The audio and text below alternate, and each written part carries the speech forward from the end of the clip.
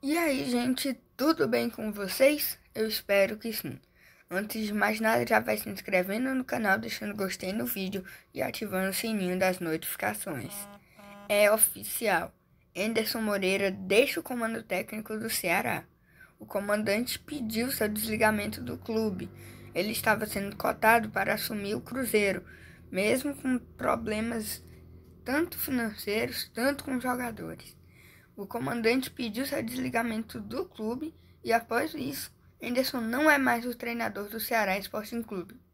Em 10 jogos nesse ano, em 10 jogos nesse ano, né, no comando do time, foram 6 vitórias e 4 empates, com aproveitamento de, 70, de 73,3%.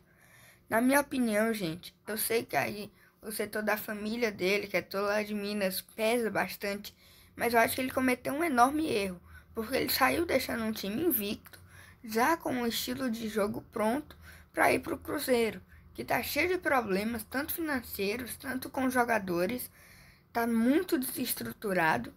Então, acho que foi muito errado essa saída dele. E o Ceará já foi rápido e anunciou o técnico Guto Ferreira. O Ceará anunciou Guto Ferreira como novo treinador do Ceará, coincidentemente uma outra opção do Cruzeiro.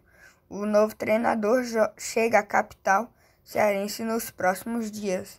Após Anderson pedir o desligamento, né? A diretoria já agiu rápido e acertou com o novo treinador para a sequência da temporada. Guto Ferreira possui recentes títulos na carreira. Em 2016, conquistou o Campeonato Catarinense com a Chape no ano seguinte, a Copa do Nordeste com Bahia. Em 2018, também com Bahia, foi campeão do Campeonato Baiano. E no ano seguinte, é, oh, e no ano passado, faturou o Campeonato Pernambucano com o esporte, além de ter treinado o time pernambucano na campanha do acesso, né, da volta à Série A do time pernambucano. Bem, reviras voltas acontecem, né? Mas vamos continuar aí apoiando o nosso time independente de treinador. Então, muito obrigado por assistir esse vídeo. Espero que você tenha gostado. Se inscreva no canal, deixe o gostei no vídeo e até a